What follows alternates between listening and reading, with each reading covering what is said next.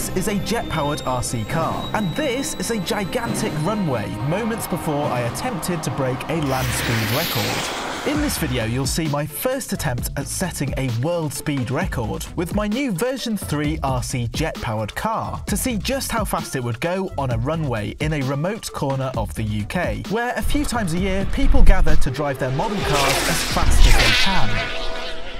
In the last video on Project Air, I showed you how I spent several months building and perfecting a car of my own design using a specially created carbon fibre body shell that would house a powerful miniature jet engine designed for use in RC jet planes. In this episode, you'll see the car going faster and faster, aiming to set a new record to beat 94.76 miles an hour, the speed I achieved with my previous car before it was unfortunately dramatically destroyed before it could set a faster speed. But would the new car set a new record? Or would it crash spectacularly on the first run? In addition to myself and Project Air engineer Emma, who is a full-time member of the Project Air team by the way, we were joined by Matt from DIY Perks who has helped with documenting the record attempt. And as I'd expected, he was rather impressed with the carbon fibre. Now to very carefully pack up everything into the Project Air MUV and drive four hours to the airfield where we would be based for the next three days. There's the airfield.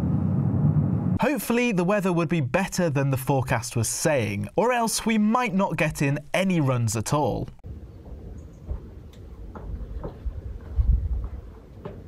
The day dawned nice and sunny, but the wind was bringing in worse weather from the sea. It wasn't looking too good. When we got to the airfield, we were joined by the Easy Composites team, who'd made the carbon fibre chassis as shown in the last video.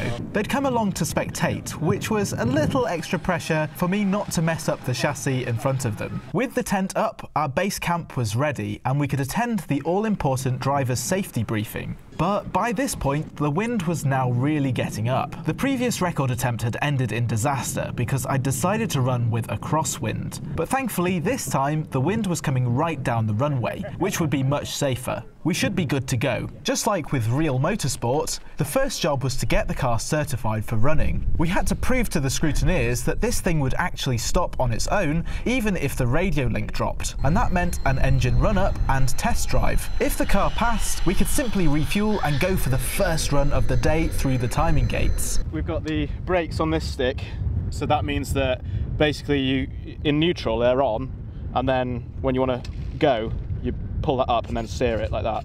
So then you throttle here.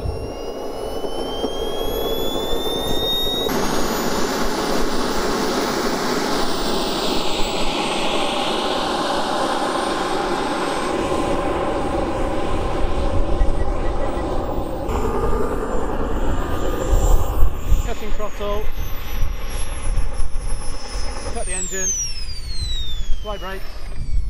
Thankfully, the car passed scrutineering with flying colours, which was a big relief. High five! Oh, that was terrible. You almost slapped me in the face. Finally, after months of work, we were now ready to have a go at driving this thing at speed on the runway. My plan was to take it steady, only increasing the throttle to a maximum of 25%. This engine was small, and I didn't expect it to go that fast through the gates on that power. But this would just be a run to check that everything felt good, the steering was trimmed, and importantly, that the car actually registered breaking the timing beams. Run number one, let's go.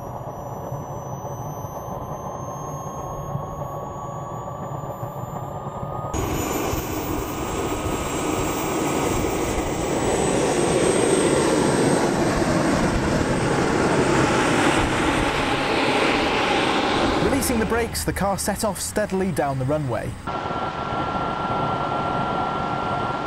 I was finding the steering to be a bit twitchy, but generally the car felt stable as it drove along at a fairly modest speed. Applying the brakes, the car stopped almost immediately thanks to the dual discs. At 25% power, the car had travelled only 22 miles an hour through the gates, accelerating to that speed in 200 metres and stopping in just over 20 metres. First run complete.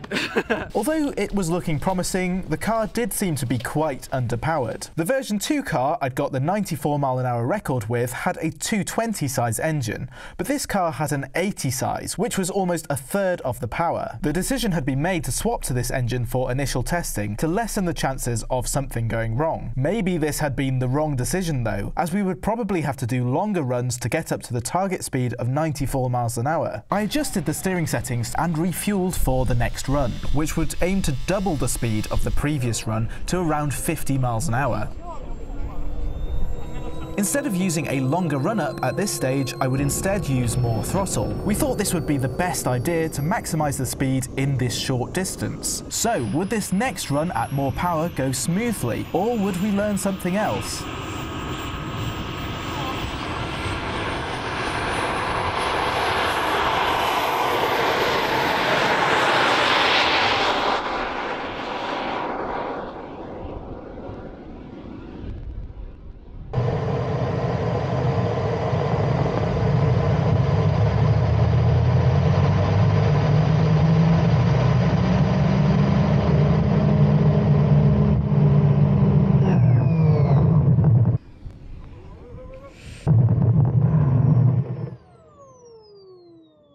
The car had jammed on its brakes and slid through the timing gates. We'd found out the brakes were too sensitive. I think I need to adjust the uh, the brake bias there. well, as long as it's not on fire, I think we're uh, we're all right. Thankfully, the car didn't overturn, which was quite miraculous. That might have resulted in a lot of damage and might have spelt the end of this record attempt. Right, have to get a bit faster than that next Well, time. so, so far, it's doing exactly what you designed it to do. So yes, in- indeed. all good. Yeah. Well done. Cheers. Right, so uh, what's happening at the moment is that we've just uh, basically adjusted the car slightly uh, with its settings, and um, and then we, we're basically waiting for our next run, th- uh, run three of the day. I think what happened on the previous run, we got to around 40, 50 miles an hour, something like that, and then I jammed the brakes on just before the timing gate, so that's why we only got 25 miles an hour on the on the actual official timing.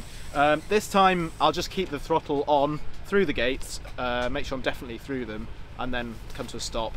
Um, yeah, and then bring it back again. While I changed the brake bias on the car, the other competitors carried on with their runs, zooming through the timing gates one after another, setting faster and faster times.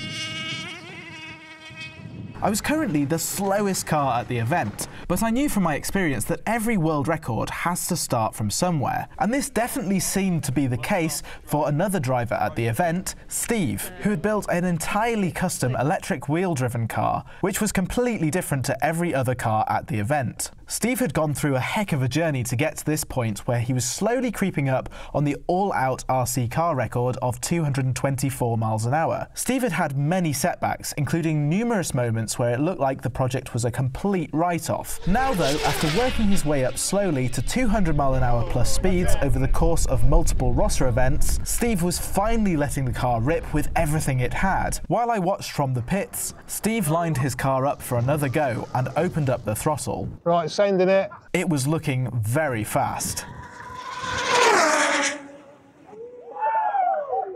Yes!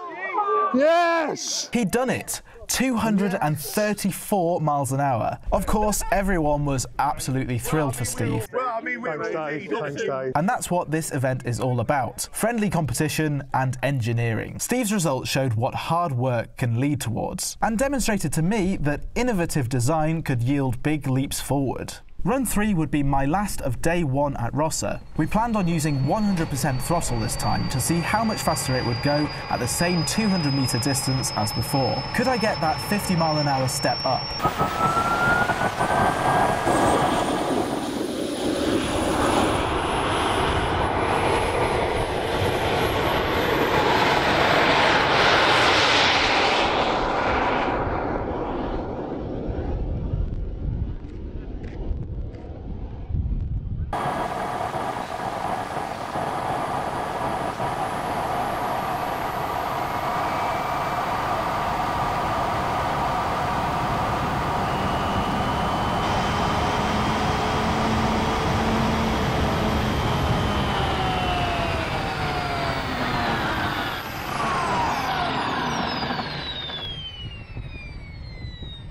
That run had felt great.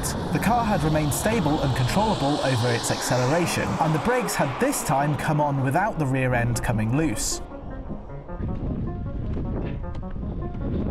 Ah, well, we got a nice successful run out of that. 50 miles an hour, and uh, yeah, we're all on target. It was time to pack up for the day and go to the pub to celebrate a successful first day of running the jet car at Rossa. One, two, three, cheers! We'd only got to 53 miles an hour so far, but it was looking promising. All we needed now was another half decent day of weather. As we started to relax after a successful day of testing, I could thank our preparation and organisation for making sure everything had gone pretty smoothly up to this point. With complex projects like this one, especially when far away from the workshop, you can imagine that every last detail has to be planned. And for this, it's often a good idea to use tools to stay organised. And that's exactly where the sponsor of today's video comes in, Odoo. It helps you to stay organised, manage every detail, and really boost your productivity. Odoo is an all-in-one management software designed to offer entrepreneurs entrepreneurs a wide range of applications to simplify the day-to-day management of their business, including invoicing, accounting, project management, inventory, website creation, and more. One app I'd recommend to anyone would probably be the Website Builder. It's incredibly easy to use, and in just four steps, you'll have the structure of your website ready in no time. And this is really great for showing off your work. It's very easy to customize your website to exactly how you'd like it with intuitive drag and drop. You can also modify text, images, and colors, as well as animate every element of your site. Pretty cool. You can even create your website for free with Odoo's one app free plan and get unlimited hosting and support. And Odoo will give you a free custom domain for your first year. So if you want to build your online presence, you can start for free right now by clicking the link in the description.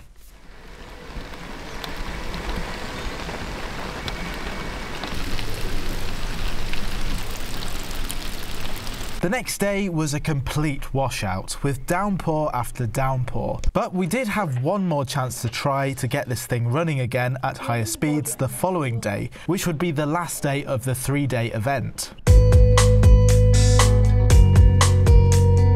Thankfully, the final day of Rossa dawned bright and sunny, albeit with quite a lot of water on the runway that would have to dry out. Unfortunately though, our base camp hadn't fared too well with all of the heavy rain. It's wet. Yep. On Friday, we were only really going from the tower to the timing gates. So this time we're gonna go from behind the tower, so over that way, uh, run it over there, turn it around with our maneuverable steering, and then have it run through the timing gates from a much further distance away. That will hopefully allow the car to accelerate more and hit a higher top speed. And maybe we can break my old record car number 88 on 3S. 88 on 3S, thank you. Traps are ready. The runway was drying out, but the wind was increasing steadily, and soon we had a strong headwind by the time it was my turn to run. Starting a run from further back and facing a gusty headwind could easily cause things to go wrong. One of my primary objectives for this record attempt was to bring the car home in one piece, and I was worried we might not achieve this if the car was pushed too hard too soon. The crash of the previous 2.0 car had been replaying in my mind all weekend, and as you can imagine, I was keen not to repeat this devastating experience once again. By this point, we wouldn't have time to do many runs on this day, as there were a lot lot of other people running, so we'd really have to go for it if I wanted to break the record. Should I throw caution to the wind and just go all out with a 500 metre plus run up, or should I learn from my previous mistakes and stick to the plan?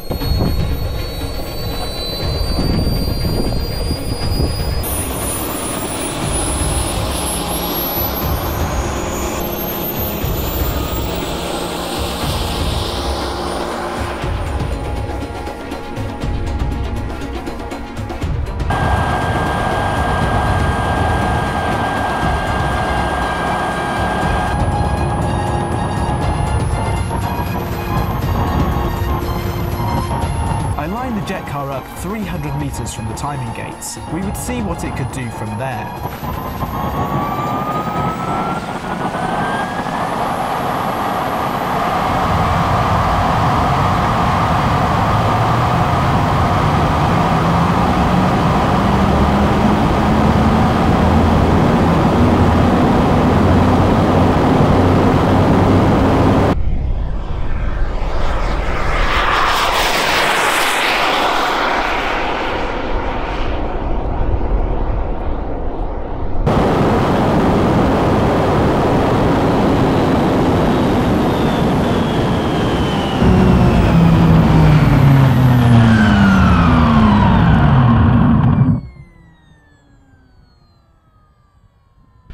Perfect run. The car had remained on the track despite the gusty wind, the aerodynamics had helped it run perfectly straight, and the brakes had brought it to a safe stop. But now it was time to see if we wanted to run it again. What a relief. Wow, that felt good. That felt really, really good. We're right on target. That's brilliant. The car is working perfectly. I'm so happy. The wind was now around 20 miles an hour and gusting. That previous run had been at 300 metres from the timing gates, and based on our results so far, we calculated that we needed about 5 to 600 metres of run up to safely beat the record of 94 miles an hour. So more runs would be needed, but these longer run ups in less than ideal conditions would be very risky. A difficult decision was made. The car would not run again at this event. It was a disappointing call, and I was gutted not to be running the car at higher speeds. But 69 miles an hour on this car's first time out was actually quite impressive. The car was working, and we got loads of valuable information. We could now take it home and scale up to the larger, three times the power engine the car was originally designed for. In real land speed record breaking, where everything is being pushed to the very edge, I was reminded that things rarely unfold how you think they're going to. But by learning from failure and taking it one step at a time, even the craziest remote control projects can become successful. Nice one. Brilliant. Thanks a lot, Stuart. No, it's a pleasure. Thanks so much again. What with all of the help from the sponsors, supporters, and everyone else who's helped with bringing this car to life, Take care now. I was sure that the next time we came back to Rossa, this jet would be ready to take the challenge to the big cars. It was finally time to go home, but we would be back. See the traps. Here's to the next one. Thank you very much for watching this video. It's been a lot of work um, over about 12 months pretty much at this point. So if you want to watch another crazy project on Project Air, then make sure to check out this video next. And also subscribe to Project Air down below if you're not already subscribed. Also check out Project Air 2 because there's going to be a dedicated video on the technical aspects of the Jet Car 3.0. I'm glad we still have this thing still in existence after all that hard work. For now, on to the next project. I'll see you on the next one.